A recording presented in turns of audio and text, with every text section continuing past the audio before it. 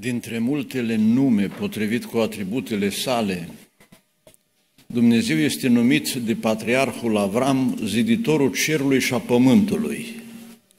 Binecuvântat să-i fie numele în veci. Iar Domnul Iisus Hristos spunea că în casa Tatălui sunt multe locașuri, că Dumnezeu a zidit cerurile și pământul. Doresc celor doi și tuturor celor prezenți să ajungă într-unul din locașurile cerești la nunta despre care a cântat corul. Amin. Amin. S-a citit astăzi ceea ce noi numim e un titlu potrivit, Casa zidită pe stâncă, deși s-ar putea numi și pilda celor două case, dar ne-am dorit să avem casa zidită pe stâncă, nu cea zidită pe nisip. Domnul spunea, versetul 24, că un om cu judecată și-a zidit casa pe stâncă, au venit toate intemperiile, dar ea a rămas pe temelie. Însă, un altul nechipzuit, versetul 26, și-a zidit casa pe nisip. Au venit exact aceleași intemperii, ea s-a prăbușit și prăbușirea i-a fost mare. Vorbind despre familie, trăim într-o vreme în care, statistic vorbind, în mod deosebit în Europa, ciudat, în Africa nu, foarte multe case se prăbușesc. O statistică îngrozitoare. În unele țări din Uniunea Europeană, mai mult de jumătate din case se prăbușesc. E culmea când într-o vreme în care se cer condiții pentru zidirea unei case fizice și sunt aprobări și norme. Cum se poate cu oameni așa deștepți în a zidi blocuri așa înalte, nu numai o casă, să nu fie în stare să zidească o casă, să stea în picioare, dacă e vorba de familie. Paradox. Dar cum spuneam în Africa, Vieții de ei unii n-au numai colibe. Am vorbit cu un frate care într-o jumătate de an și-a propus de a vizita toată lumea și mi-a povestit de pe tot pământul ce a întâmpinat. Și a zis, și știți, acum se poate circula, sunt sate foarte sărace, dar divorțul ceva rar întâlnit și unii chiar săraci din punct de vedere alimentar și a hainelor, cum spunea un frate că l-a apucat frigul fiind în misiune dusă în Africa și a mai cerut o pătură într-un tribu, ne-a dormit peste noapte și au zis, da, asta e singura pătură din trib, o ținem pentru musafir, alta n-avem. Oamenii aceia uneori au familii mai rezistente decât în Europa și în America noastră, atât de dorită, de râfnită de unii. Dar îl lăsăm la o parte și ne uităm în Scripturi și dorim celor doi și nouă tuturor o casă binecuvântată. Ba mai mult, ca să vă determin să fiți mai atenți. Fratele Florin a început citirea cu niște versete mai înainte de pilda propriu-zisă unde sunt cuvintele Domnului care a zis, nu oricine îmi zice, Doamne, Doamne, va intra în împărăția celor, ci cel ce face voia Tatălui meu care este în ceruri, adică nu mergi tu în ceruri dacă nu vrei să faci cum se face în ceruri. Și mulți, și riscul există și printre ai noștri, nu mai citesc cuvintele, să ajungă până la poartă și să nu fie acceptați acolo. Spun asta pentru că în final Domnul a zis, versetul 27, că la casa aceea ce s-a prăbușit, prăbușirea a fost mare. Și eu prin asta înțeleg, luând în calcul și cuvintele de dinainte, că o prăbușire mare înseamnă nu doar să nu-ți reziste casa, să auzi că divorțează, dar unii nu divorțează, dar e tot casa ruinată, e un divorț emoțional, nu-i de asta acolo, e frig, mai plouă, eu cred că prăbușire mare înseamnă să-ți pierzi și mântuirea și să nu intre acolo, asta e mare. Că dacă ar fi numai viața de aici, asta trece. Și ce nenorocire mai mare decât în loc de două raiuri, cum așteaptă unii, să ai două iaduri. Unul aici scurt și altul nesfârșit. Doamne, dă-ne pricepere. Casa aceea zidită pe stâncă a fost construită de un om cu judecată. Dar să nu credeți că sunt unii așa cu judecată din, din facere. Și dacă s-a născut cu judecată, îi sortit să-și construiască o asemenea casă, iar dacă n-a avut judecată, am întâlnit și știe oricine. Sunt oameni care, cum vă spuneam de cei din Africa, n-au multă școală, dar se descurcă. Și alții cu multă școală și cu bani. Cum spunea cineva, știți că era un olog, scrie în fapte 3, un cerșitor, acolo la poarta frumoasă și a zis că sunt oameni nenorociți lângă lucruri frumoase.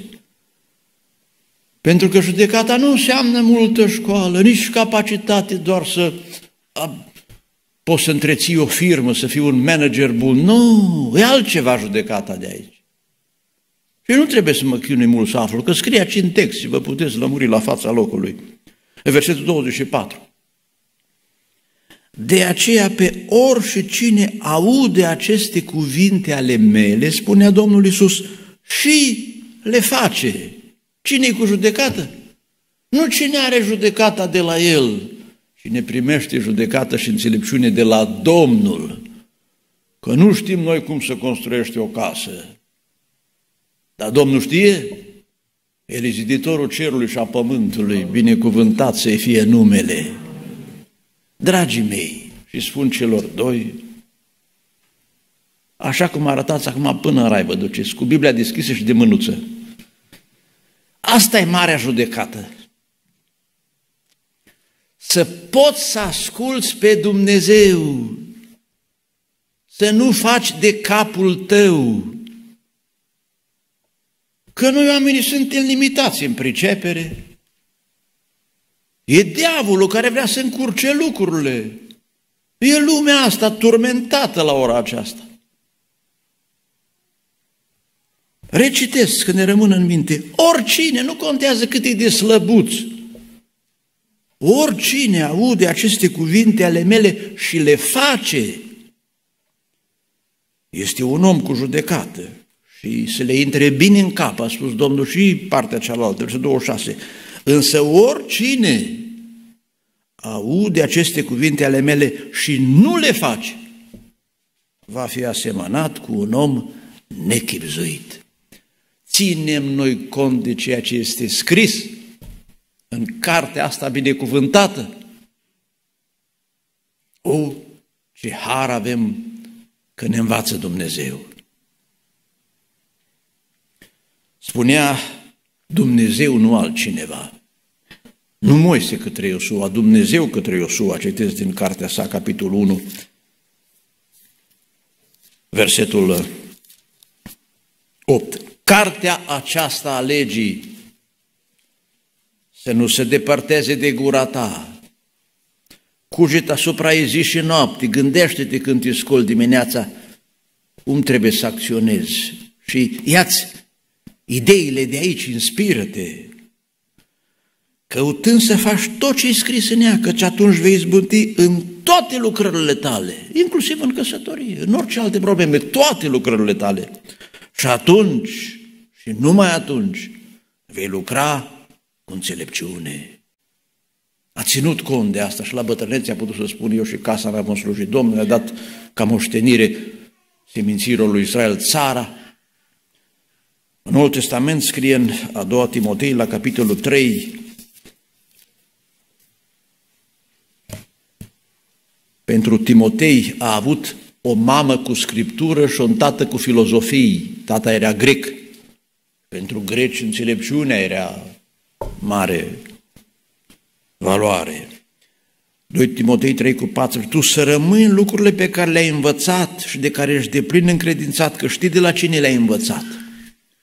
Sau mai corect ar fi prin cine le-ai învățat, că de învățat le învățați din Scriptură, cum spune versetul următor, din pruncie cunoști Sfintele Scripturi, care poți să-ți dea înțelepciunea care duce la mântuire, vorbim de veșnicie, Ba mai mult spune versetul 17 că un astfel de om este desăvârșit și cu tot destoinic, se descurcă, se pricepe la toate.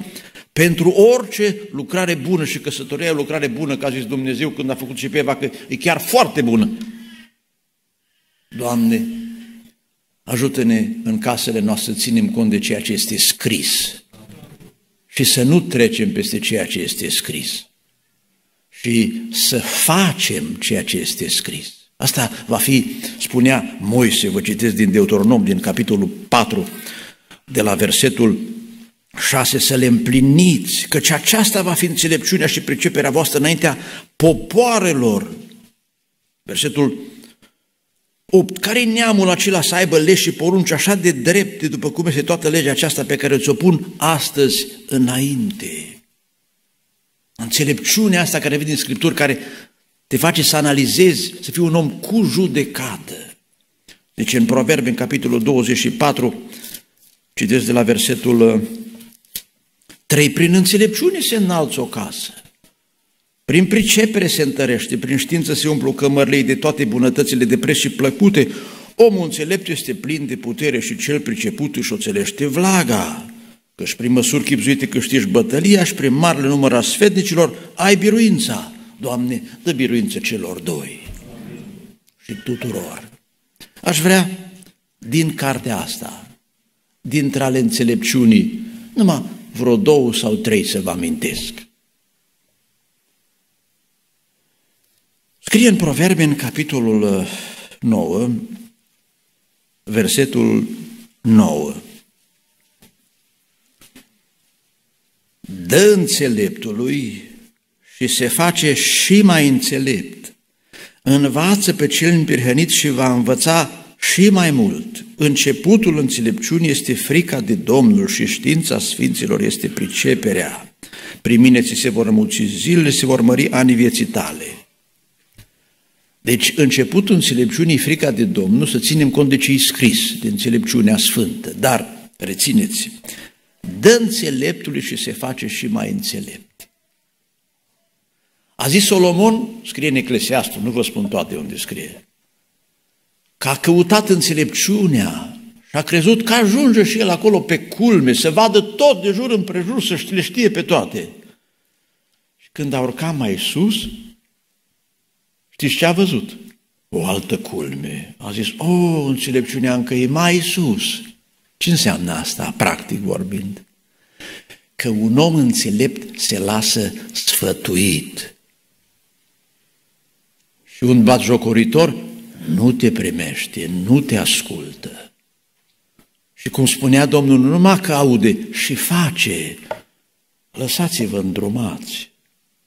Dacă mai vor părinții să vă dea vreun sfat, că mai șoptim noi așa întreagă câte ceva pe aici, mai prindeți ceva pe la adunare, pe la câte o slujbă, citiți din nou în Biblie. Da, luați aminte. Dar scrie în proverbe că nebunului nu i arde de învățătură. Nu cumva îl irită, îl deranjează. Oare pe omul acela care se zice casa pe nisip, nu fi trecut nimeni pe lângă el când s-a apucat de săpat? Mai eu de părere să mai n-ai lucrat mult, să te muți mai sus. Nu mă învățați voi pe mine. Asta e grav. Da, Scrie în Biblie, în Exod 18, că a mers Ietro, socrul lui, la Moise. La Moise era omul care vorbea cu Dumnezeu, n-a fost nimeni ca el, era conducătorul țării, se temea toată țara Egiptului de el, era deștept, studiase la Universitatea din Heliopolis din Egipt. Era un fel de Oxford a vremii de atunci. Și vine socrul să un cioban din Madian. Spune, măi, ginere, dacă Dumnezeu de cumva ți-a zice, te-am cuvințat ce zic eu, eu zic să împărți poporul, că e prea multă coadă asta că stau ăștia la rând aici, tu ești obosit. Te stresezi numai când vezi că ți la rând.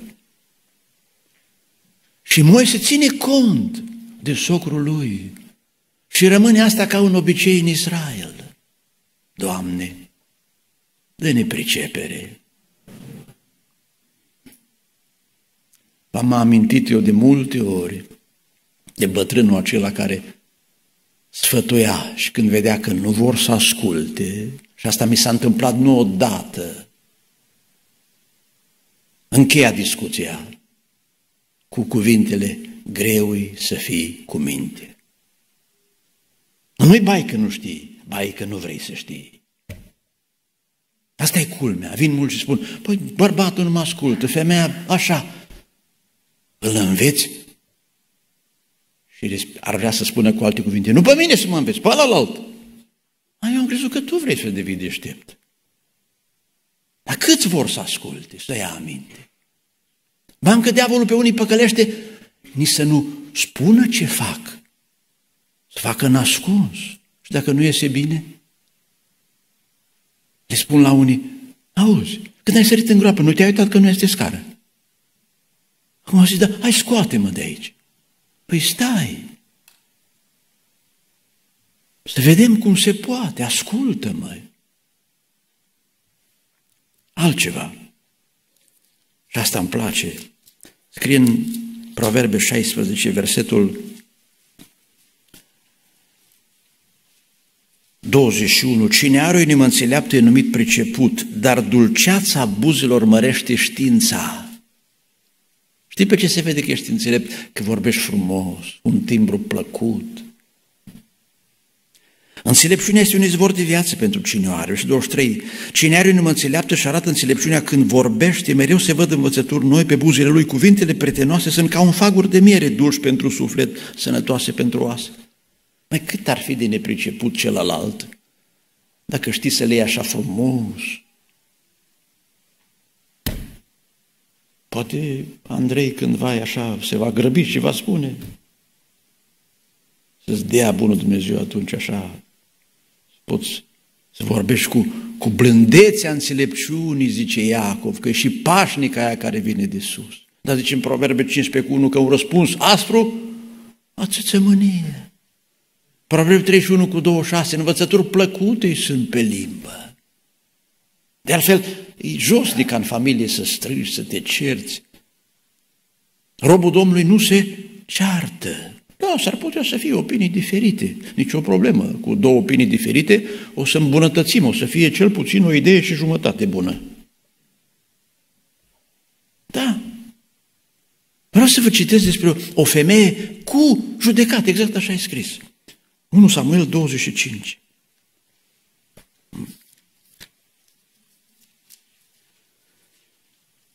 Versetul 3. Era o femeie cu judecată și frumoasă la chip. Mai băieți care sunteți pe aici, deci iar o să fie un mesaj pentru voi, dar prindeți și ideea asta. Mă, nu te uita întâi dacă e frumoasă, uite-te întâi dacă e judecată, citește cum e scris.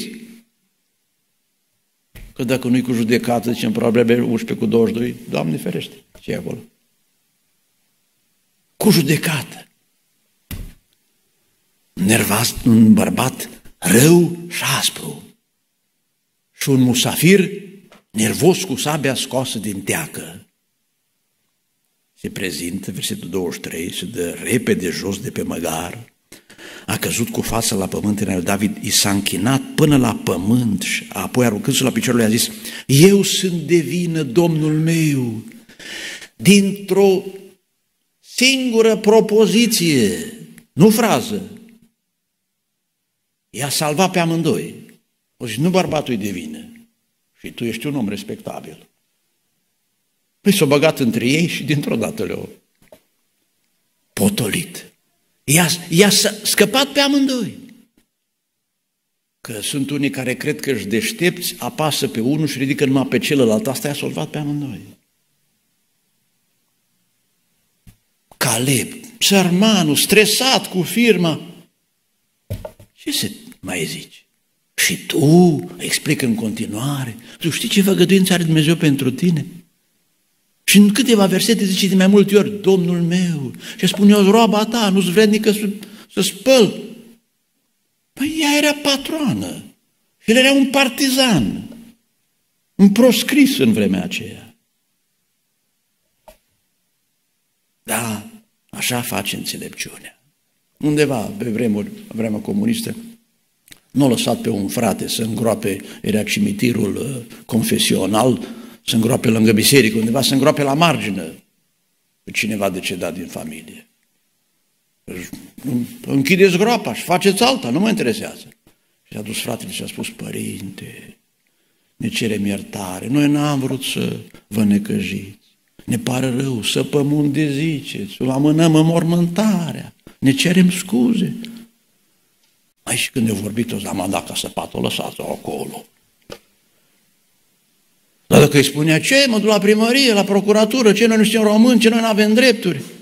Nu, mai cheltuia niște bani, se trudea, că scrie că nebunul cu truda lui, Eclesiastul 10, obosește pe cel ce nu știe drumul spre cetate. Și tot acolo scrie că nebunul are vorbe multe, multe. Dar scrie în probabil că cine vorbește mult nu se poate să nu păgătuiască. M-a sunat cineva, hai nu spun femeie sau bărbat. După ce mi-a vorbit un ceas și trei minute, m-a uitat la telefon, a zis, dați-mi voie să pun niște întrebări punctuale ca să, să putem să aflăm totuși ce se întâmplă și să vă dau un sfat. Dar știți cu ce cuvinte a început pledoria aceea, care nu știu cât ar mai fi durat. Eu am știut că partenerul meu nu este înțelept, dar m-am gândit că pot eu să conduc și dacă mă ascultă. Acum era în criză totală. Măi, am zis, bun, dați-mi un telefon la cineva de familie să vorbesc eu cu el. Nu, nu, nu, întâi îmi spuneți mie, mi să văd ce vrea să vorbiți. Păi zic, ce să mai spun dumneata dacă nu te-ai descurcat de 30 de ani? Lasă-mă să Dar ce o să-i spuneți? Zic, nu știu, mă rog, văd ce o să-mi dea Domnul, ce să-i mai zic. Da. Închei, dragii mei. Dorindu-vă, cum zice la Iacov 1, că Dumnezeu când dă înțelepciune, dă cu mână largă. Doamne, Tinerii ăștia nu pot face astăzi o, o nuntă cu masă mare, dar dă-le tu o mână zdravă de înțelepciune. Ajută-i să zidească o casă care să dăinuiască în veci. Nu uitați că a zidit casa, zice în Rut 4 înseamnă și să dai naștere la copii. E o casă care rămâne și să ne ajute Bunul Dumnezeu pe toți. Ce auzim în Evanghelie să facem. Asta va fi înțelepciunea noastră într-o lume care se pretinde înțeleaptă, dar nu înțeleaptă. Zice, romanul s-au fălit că sunt înțelepți, dar un nebunit. Dumnezeu să le lumineze mintea, să ne ajute noi să primim învățătură, să ne ajute să vorbim frumos în viață, cu toți, cu blândețea înțelepciunii și numai atâta să, să servim cât, cât poate celălalt să primească, nu o avalanșă de cuvinte care adesea n-au n-au nici capăt, nici într-o parte, nici într-alta. Să vă binecuvinteze Domnul pe toți, dar în primul rând astăzi pe fratele Andrei și pe sora Larisa. Amin.